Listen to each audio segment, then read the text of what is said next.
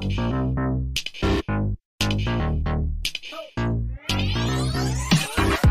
ka-text, kamusta po kayo? Welcome po ulit sa aking YouTube channel, Tetes TV. For today's video, share ko po sa inyo ang pagluto ko ng arroz caldo. Yan, masarap po itong arroz caldo. Uh, narito po mga ingredients na aking gagamitin. Siyempre meron tayong malagkit mga ka-text. Yan, hindi ko naman po nilalahat ito. Kulang po ako ng kaunti dito. Then, nandiyan ang aking iodized salt. Gamitan ko rin siya ng spring onions. Pag toppings lang yan mga kateks. Hindi natin gagawin sa pagluto. Nandyan ang pepper at ang ating garlic crunchy na pag toppings lang din po. Siyempre may mantika. Gamit din po ako ng chicken stock. At ito po ang aking gagamitin na iba pa. Bawang. May kasuba po. Ito po yung pangkulay sa ating arroz caldo. Kasuba po ang tawag dyan mga kateks yung sibuyas. Siyempre, ang lalagyan ko po siya ng chicken na pinakuluan ko na po kanina mga kateks. At maraming luya. Tinadtad ko po yan na maliliit gaya ng pagtadtad ko sa bawang at sibuyas. Siyempre, gamit ako nitang kaserola at, at meron ding tubig na gagamitin mga, mga kateks. Okay mga kateks, let's start cooking. And, umpisa ko na po mag, mag-isa mga kateks. Yan, napainit ko na po ang aking kaserola. Then, lagyan ko na na ng mantika nila mga ka-text.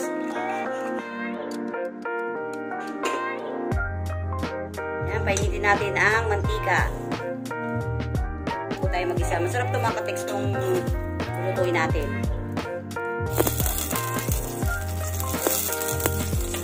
Yan, unahin ang bawang.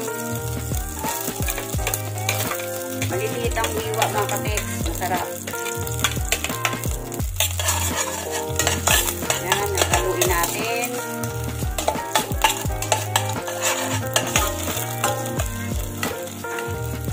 Katasin ko yung bawang mga kutex para luma, ano yung flavor niya.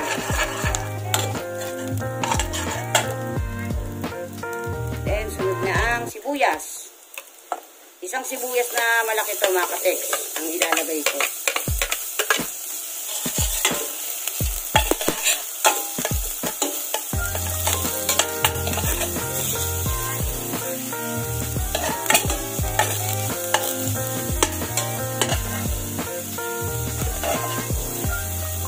Siyempre, susunod ko na ang luya.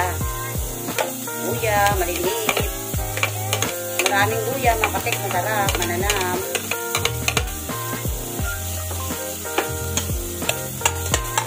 Then, nakatex ito, itong manok, aadobohin ko po ito mamaya, pang ano ko po, para nakahiwalay po yung manok na lalagay natin sa ating arroz caldo.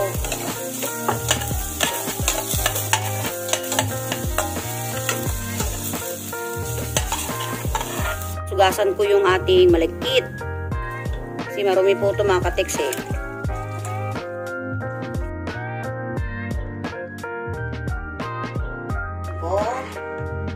Kateks, lalagay ko na yung pinagpakuluan ko ng chicken stock. Chicken stock to mga kateks. Pwede kayong gumamit kahit anong stock. Pwedeng shrimp, pwedeng pork, pwedeng beef. Yan, pwede po.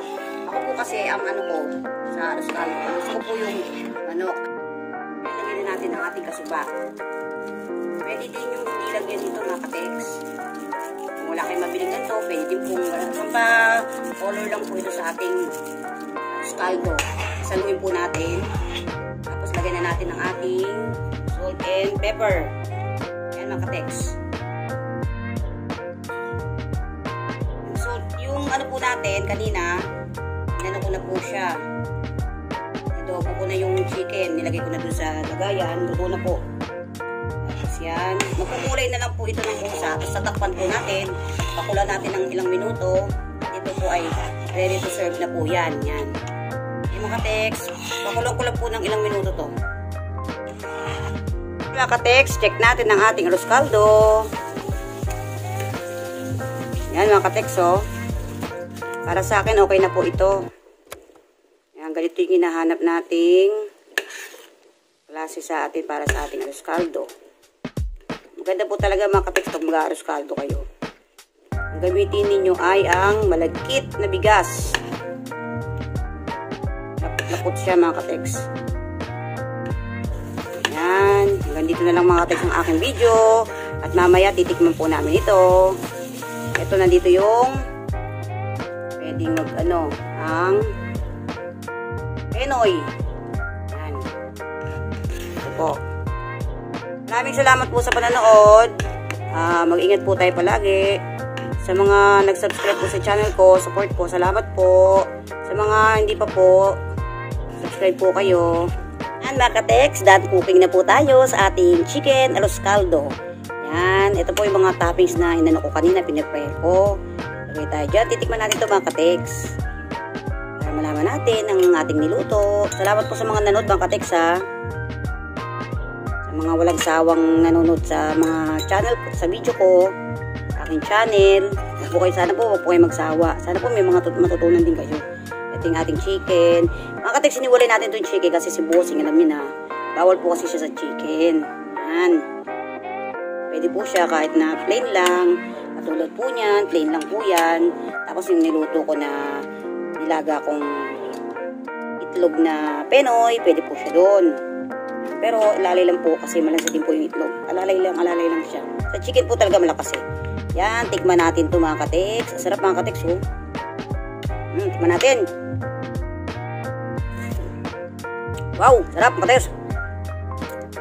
Saktong-sakto lang. Kung gusto nyong lagyan ng... Hmm. At sarap mga kateks. Kung gusto nyong lagyan ng yung kagayang ginawa namin ni Bossing na chili garlic oil, yung niluto po niya. Napakasarap po yung maanghang po. Pero alalay lang din. Ito po, oh. Yan po, chili garlic oil. Ipapak ko po yan kasi may mga o-order po niyan eh. Lalagyan ko po niyan mamaya-maya. Yan, sarap. Tapos kung gusto niyo may kalamansi, lagyan po natin ng kalamansi, mas masarap. Kalamansi, kaunting, pero nilagyan ko na po ito ng paminta. Kaunting patis kung gusto niyo Pero sa akin, sakto lang yung lasa na. No need to add patis sa akin. Pero yung ibang kasama ko, gusto nila, pwede po. Yan. Muli mga kateks, maraming maraming maraming salamat po sa panonood simula umpisa hanggang sa dulo. Maraming maraming salamat po. Uh, lagi po tayo magdasal at palagi po tayo mag-ingat. Sa susunod ko pong mga video, share niyo po to sa mga kaibigan niyo o kaya baka pwede niyo pong gayahin. Yan, masaya po ako at nakakapagluto ako ng ganito. Kasi alam niyo naman po, kapag nasa bahay lang tayo, mag-isip po tayo ng mga pwede nating, kaya pala natin magluto mga kateks. Yan. Nandito lang po. Salamat po ulit sa panonood. Bye-bye po.